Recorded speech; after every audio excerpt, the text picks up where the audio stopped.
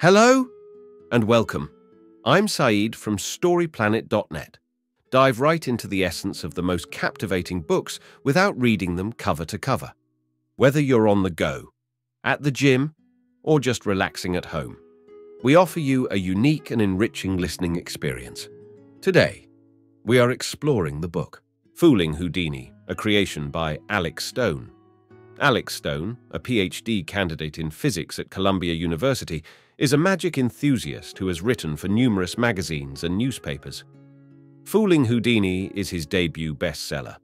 Before we delve into these revelations, it's interesting to note that Fooling Houdini, published in 2012, follows the writer's quest to master the craft of magic, exploring its origins, philosophy, and close connection with science. With audio and text to unveil, brace yourself for a deep dive into this captivating book. On storyplanet.net. To start, explore the shared elements of science and magic and the potential lessons they can offer each other.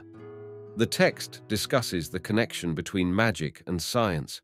While many lose the wonder of magic as they grow up, the summarizer highlight how magic and science share similarities and have lessons for each other. It mentions insights such as a gorilla in plain sight going unnoticed, the origin of hocus pocus, and why children are less easily deceived than adults. Key idea number one magic is akin to gambling and business in many ways. Magic is linked to gambling and deception. Skilled magicians and gamblers both rely on secrecy and strategy.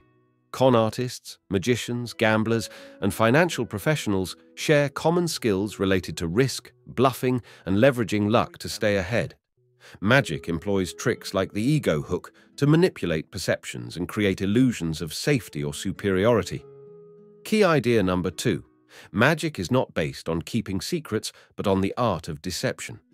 The Masked Magician revealed magic secrets on TV, sparking debate among magicians on the impact of exposure. While traditional secrecy is important in magic, sharing tricks can lead to innovation and progress in the art form. Magicians have a history of sharing secrets and creating new tricks. The essence of magic lies in deception rather than secrecy, as illustrated by a trick that baffled Houdini, demonstrating the evolution of magic and the enduring appeal of classic illusions despite exposure. Key idea number three. Touch sensitivity is a crucial aspect of performing magic tricks. Touch sensitivity is crucial for magicians to perform card tricks without looking while shuffling. Blind individuals often possess heightened touch sensitivity, making them adept at magic. Research indicates that the brain processes tactile impressions and lights up when reading Braille. Human hands are equipped with densely packed sensors, allowing anyone to identify objects through touch. Losing hands can impair spatial perception. Magicians must train their touch sensitivity, and the type of deck used affects trick performance. Key idea number four. Magic relies on exploiting the audience's visual, tactile, and verbal limitations. Inattentional blindness occurs when not paying attention, as shown in a University of Illinois experiment with a gorilla walking through a ball-passing game. Magicians use misdirections to take advantage of human blindness, like removing a watch unnoticed. Change blindness is illustrated by editing mistakes in movie scenes, often unnoticed. Magicians exploit this phenomenon successfully, children are less prone to inattentional blindness due to their unfocused attention. Key idea number five. Magic should incorporate humor alongside emotion and fear to be truly effective. The text discusses mentalism, utilizing the Barnum effect to create personal connections, how Houdini used cold reading to amaze audiences, the entertaining aspect of magic performances by magicians and clowns, and the comedic origins shared between magic and clowning, like the origin of the term hocus pocus from religious satire. Key idea number six magic shares similarities with science. Science and magic have similarities and historical connections. Founders of modern science were interested in alchemy, and magicians can use scientific principles for tricks.